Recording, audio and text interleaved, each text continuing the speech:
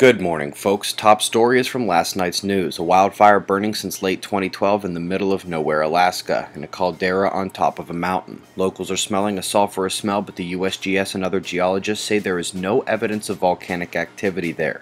They're blaming shale gas fire underground. Shot of the day comes from NASA's Earth Observatory.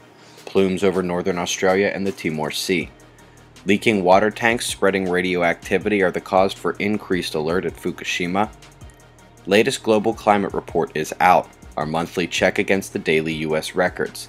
Healthy mix of hot and cold anomalies on the map, apart from another year of above average Antarctic sea ice, they've mostly highlighted the heat events. Guess that's why the US is blank. You can also add Austria to the severe drought list.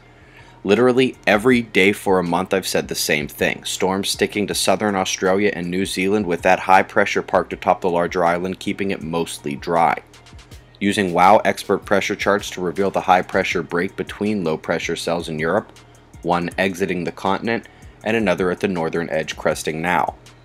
Low pressure up the central states wants to pull all that air to the big low in Canada, but the high pressure out east also has a northward push to the western side of its clockwise drive. That forces moisture and energy north with this wind to meet what's coming down from Canada for severe storm threats this evening. Gulf of Mexico and Caribbean, looking clear of tropical development. While south of Mexico, we see yet another developing cell, and this one should pretty much run up the coastline this week. Taiwan and China coastlines, the time for warnings is over. It's there. Hope you are prepared. GOES shows X-ray solar flares picking up slightly. They make the signature emanating from the equator, but this degradation on the north and the south is something else. SOHO rates 92% certainty of this interplanetary shock signature. I'm around 99. ACE shows similar readings here. The geomagnetic disturbance is just beginning on the charts, while energetic flux and proton storms are possible today.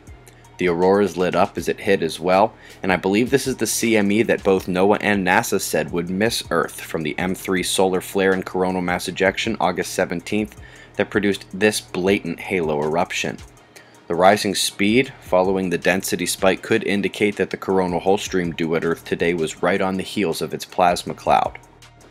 Regardless, as this event unfolds, another CME is headed our way. The massive filament eruption is now unquestionably going to impact Earth according to NASA and NOAA and your own two eyes. CACTus diagnoses this as a moderately speedy CME and shouldn't cause any electrical damage. Per last night's news, Watch score dropped to 5 or even 4 between the coronal holes now and until this space weather fully envelops Earth. Full moon today, but more alignments follow this week. The score remains low for now, with the only significant shaking in the Kuril Islands, but this low will be brief and the watch score is trending back up. Eyes open. No fear, it's 6.55 a.m. Eastern Time and that's the news. Be safe, everyone.